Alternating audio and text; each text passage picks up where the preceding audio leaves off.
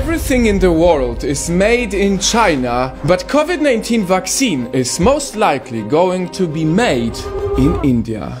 Yes, right now in India, companies are already making millions of doses of COVID-19 test vaccines. And if things go right, we might get the real one soon. This is the story of how the world is on the way to developing the fastest vaccine ever. As of today, the 28th of April, COVID-19 infected over 3 million people globally, and it is not going anywhere until we find a solution. This is why 80 companies around the world are searching for a vaccine, and they are searching fast. Now, the race to develop a vaccine to fight the coronavirus is underway around the world. A vaccine usually takes 6 to 7 years to develop, but this is an emergency and we work towards developing the vaccine 5 times faster. How is this speed even possible, you may ask?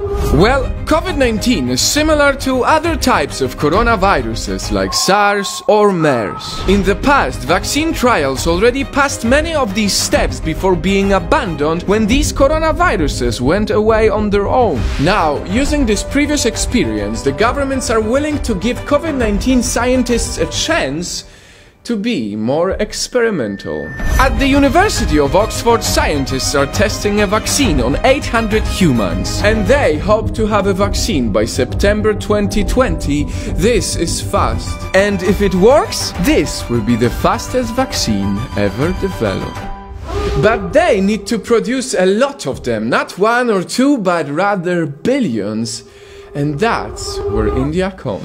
India has the largest pharmaceutical company in the world, the Serum Institute of India. They can produce 1.5 billion vaccines every year, much more than any production company in the US or even in China. Indian scientists are currently testing a multi-purpose vaccine. This gives us hope not only because of the amount of vaccines, but also because of the costs. India can produce a vaccine at an average price of 0.5 cents. 0.5 cents to save a life.